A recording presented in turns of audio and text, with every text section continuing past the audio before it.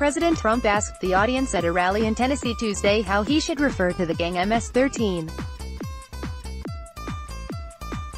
The crowd shouted to Trump, animals, watch, this vicious gang has transformed once peaceful, beautiful communities that I know so well, I know them all, into blood-stained killing fields, savagely murdering, raping and mutilating their victims.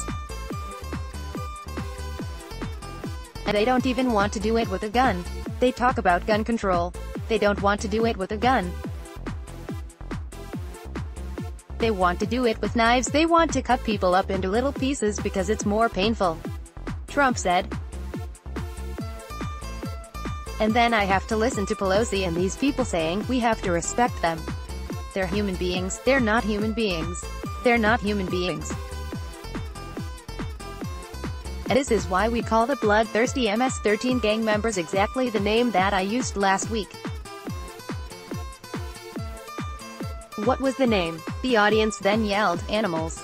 Animals, Trump repeated. MS-13 takes advantage of glaring loopholes in our immigration laws to infiltrate our country. Related, Trump doubles down on MS-13, animals comment, they're not people.